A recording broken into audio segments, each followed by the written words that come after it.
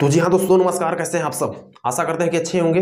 तो दोस्तों, आज की वीडियो में हम बात करने वाले हैं सौरव जोशी ब्लॉग के बारे में, जिनके चैनल पर इस समय करंट टाइम में 12 मिलियन से अधिक सब्सक्राइबर हैं। वहीं दूसरी तरफ़ बात किया जाए कैरी मिनाटी, जिनके चैनल पर 33 मिलियन से अधिक सब्सक्राइबर हैं।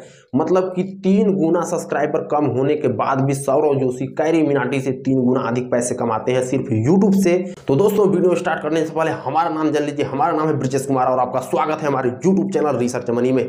दोस्तों चैनल पर पहली बार आए हैं तो चैनल को सब्सक्राइब कर लीजिए और बेल आइकन को प्रेस करके आप सेलेक्ट कर लीजिए क्योंकि आपको ऐसे ही वीडियो यहाँ पर देखने को मिलेंगे। तो बिना देरी क्यों है चलते हैं स्क्रीन पर, वहीं देखते हैं प्रूफ के साथ। तो जी हाँ दोस्तों, यहाँ पर सौरव जोशी के चैनल का डैशबोर्ड हमारे सामने आ चुका है, जिनके चैनल पर करंट टाइम में बारह दशमलव सात मिलियन सब्सक्राइबर हैं। वहीं टोटल व्यू की बात किया जाए तो four point zero one billion अभी तक इनके चैनल पर व्यू आ चुका है। वहीं एवरेज वीडियो व्यू की बात किया जाए तो five point two million view हर वीडियो पर इनके आ जाते हैं औसतन, और जो इनका टोटल वीडियो है, आठ सौ बासठ वीडियो इन्होंने यूट्यूब पर अपलोड कर दी है। वहीं सब्सक्राइबर रैंक की बात की जाए तो इनका जो सब्सक्राइबर रैंक है छः सौ छाछठवां है मतलब कि छः सौ छाछठ यूट्यूब पर ऐसे और चैनल है जिनके चैनल पर बारह दशमलव सात मिलियन से अधिक सब्सक्राइबर हैं।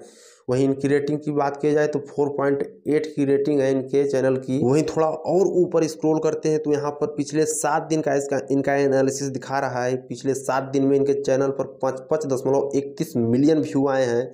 वहीं अर्निंग की बात की जाए तो सत्ताईस दशमलव पैंसठ के से दो सौ इक्कीस दशमलव चौवालीस के इनकी अर्निंग हुई है पिछले सात दिन में।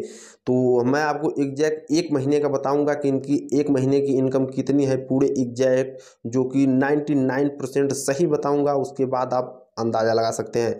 तो देखिए, यहाँ पर हम तीस दिन का सेलेक्ट कर लेते हैं तो यहाँ पर हमारे सामने डैशबोर्ड आ चुका है। तीस दिन के अंदर इनके चैनल पर 600 के मतलब 6 लाख से अधिक सब्सक्राइबर बढ़े हैं, और जो टोटल व्यू की बात की जाए तो तीन सौ उन्नीस दशमलव बावन मिलियन आप कह सकते हैं कि 320 मिलियन व्यू इनके चैनल पर पिछले 30 दिनों में आया है। आज से पिछले 30 दिनों में 14 जनवरी से 12 फरवरी के बीच में। इस समय इन्होंने 31 वीडियो यहाँ पर अपलोड की है। वहीं व्यू की बात की जाए तो यहाँ पर इनके चैनल पर 14 जनवरी को तीन दशमलव सेवन बिलियन व्यू थे और उस दिन बारह दशमलव एक मिलियन सब्सक्राइबर थे। वहीं बात किया जाए पंद्रह जनवरी को तो यहाँ पर देखिए तीन दशमलव इकहत्तर बिलियन और उस दिन ग्यारह दशमलव बासठ मिलियन व्यू आए थे। और सोलह जनवरी को बात की जाए तो सोलह जनवरी को भी ग्यारह दशमलव अड़तीस मिलियन, सत्रह जनवरी को ग्यारह दशमलव इकहत्तर मिलियन अट्ठारह जनवरी को ग्यारह मिलियन।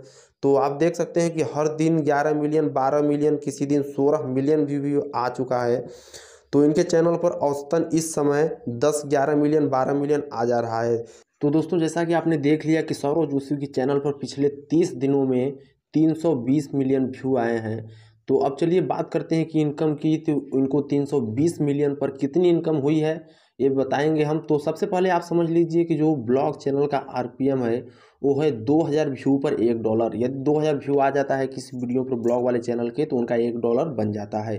तो इस हिसाब से सौरव जोशी के चैनल पर कुल व्यू था 320 मिलियन।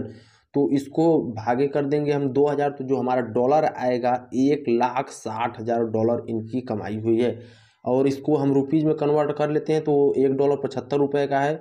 तो इस, ये आता है एक करोड़ बीस लाख रुपए। तो दोस्तों सौरव जोशी एक करोड़ बीस लाख पिछले महीने में इनकम की है यूट्यूब एड से, और यदि वो स्पॉन्सरशिप करते हैं या फिर सॉन्ग वॉन्ग करते हैं तो उसका पैसा अलग से तो सिर्फ़ हमने यूट्यूब की इनकम दिखाई है उनकी तो आप समझ सकते हैं कि वो कितना कमाते हैं। तो दोस्तों सौरव जोशी के बारे में अपनी राय कमेंट बॉक्स में ज़रूर बताएँ, और चैनल पर पहली बार आए तो चैनल को सब्सक्राइब भी कर लीजिए, और बेल आइकन को प्रेस करके आल पर सेलेक्ट कर दीजिए, और कमेंट बॉक्स में बताइए कि अगला राज किस पे पर्दाफाश कराना चाहते हैं। तो मिलेंगे हम अगले वीडियो में, तब तक के लिए टेक केयर